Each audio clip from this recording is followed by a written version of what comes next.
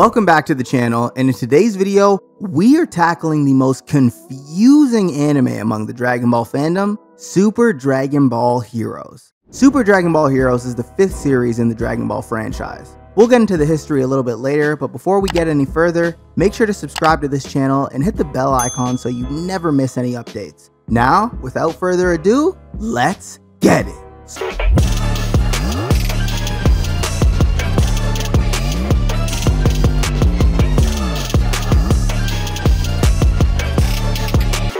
Super Dragon Ball Heroes is a Japanese original net animation and promotional animation series for the cards and video games of the same name. It's a manga-inspired sequel to the Dragon Ball franchise created by Toei Animation. Unlike its predecessors, Akira Toriyama had nothing to do with this project. The anime premiered on July 1st, 2018 in Japan, later being released in the US on February 22, 2022. This series is mostly for fan service and has a lot of unique interactions that simply wouldn't be possible in the original series.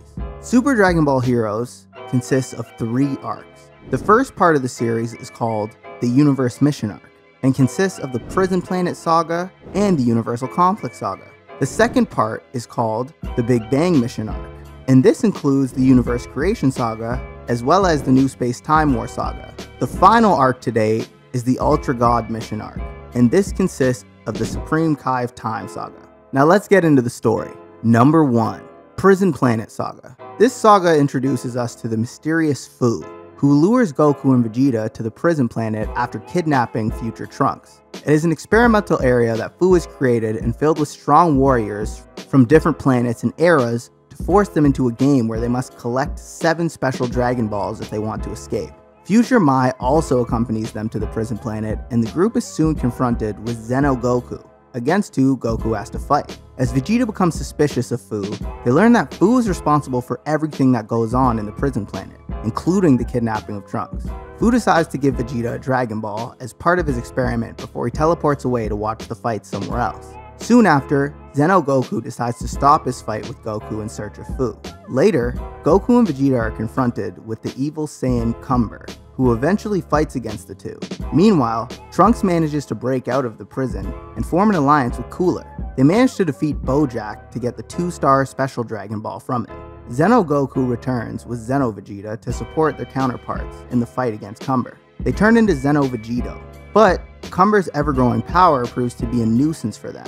Goku then re-enters the battle in his perfected Ultra Instinct state. Just as Goku and Cumber unleash a powerful explosion that destroys the chains that hold the prison planet together. Number 2. The Universal Conflict Saga. The Universal Conflict Saga picks up right where the last one left off and consists of several different subplots. It begins with Fua, the Supreme Kai of Universe 6, informing Vegeta and future Trunks that his universe is under attack, and the two offer their help. Upon arrival, they encounter two Tuffle twins who absolutely destroy Hit and the Saiyans of Universe 6 and immediately find themselves in action. It soon turns out that a new villain named Hearts and a returning fused Zamasu are planning to create a new universe with a universe seed.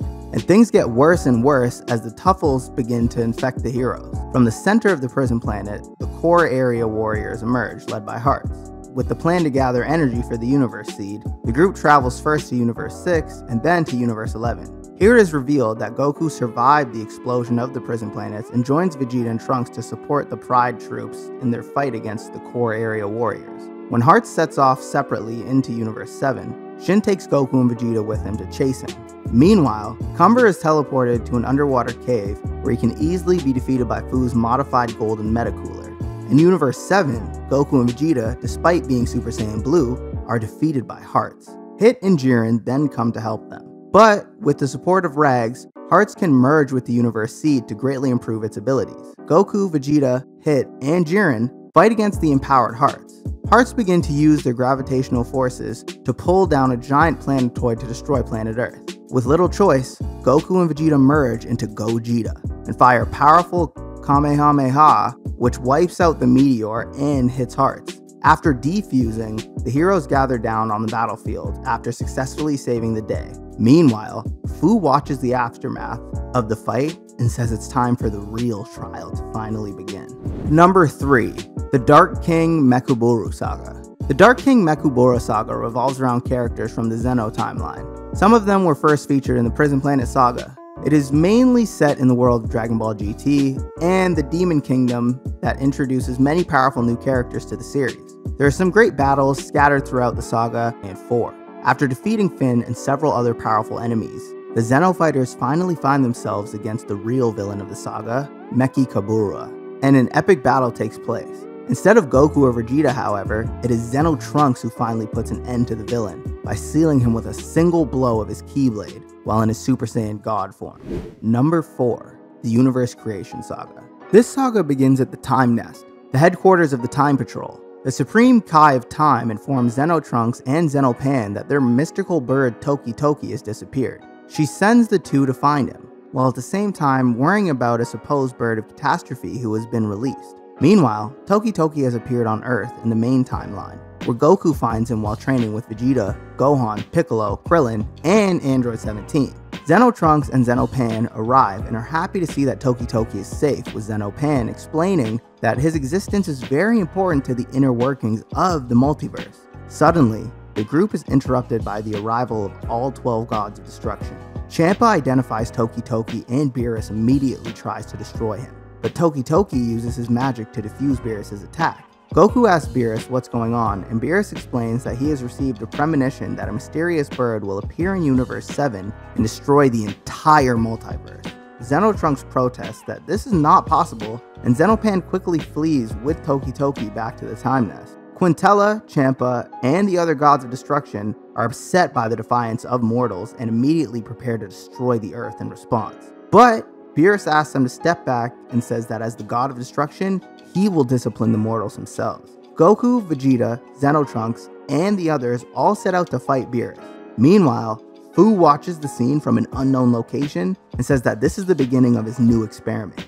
He now owns a strange glowing tree and a strange Toki Toki.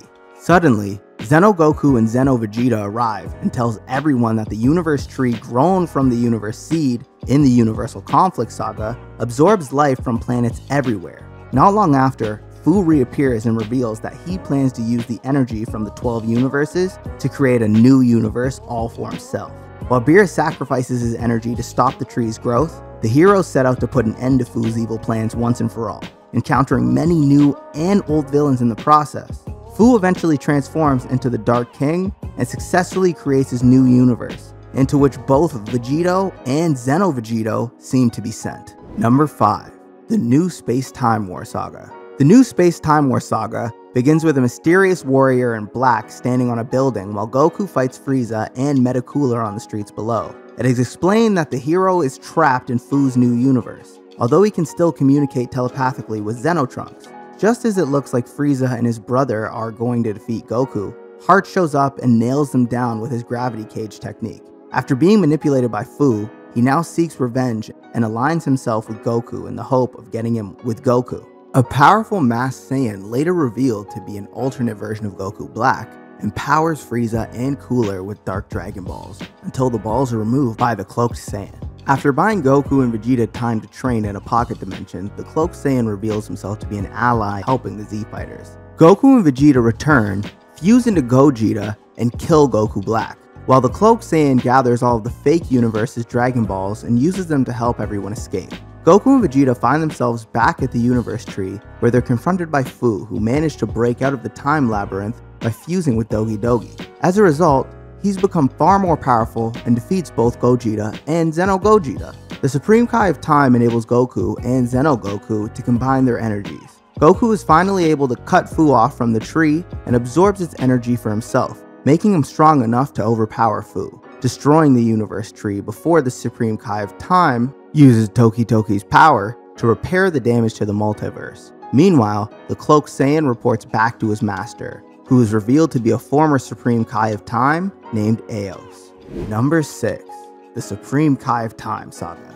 Eos steals an artifact called the Scroll of Eternity from Chronoa, the current Supreme Kai of Time. On Earth, Goku is invited to a martial arts competition called the Super Space Time Tournament, featuring teams of seven fighters from many different timelines over the series. He accepts and becomes a member of his timeline's team, along with Vegeta, Gohan, Piccolo, Hit, Jiren, and Yamcha. The teams are brought together, including a team sent by the Time Patrol, whose mission is to get the Scroll of Eternity back from Eos. And the tournament begins. Eos reveals herself and explains that she is holding the tournament to eliminate most of the existing timelines, in which the remaining fighters must face off against four powerful cloaked warriors who are revealed to be alternate versions of Piccolo, Bardock, and future Gohan, as well as an unknown alien woman, who have all been empowered using the Dark Dragon Balls. And that's it for the story so far because this anime is still going on. So this is about it for Super Dragon Ball Heroes for now. Please let me know if I missed anything in the comments. Don't forget to like, hit the subscribe button, and click the bell notification icon so you never miss another video. And until next time, peace.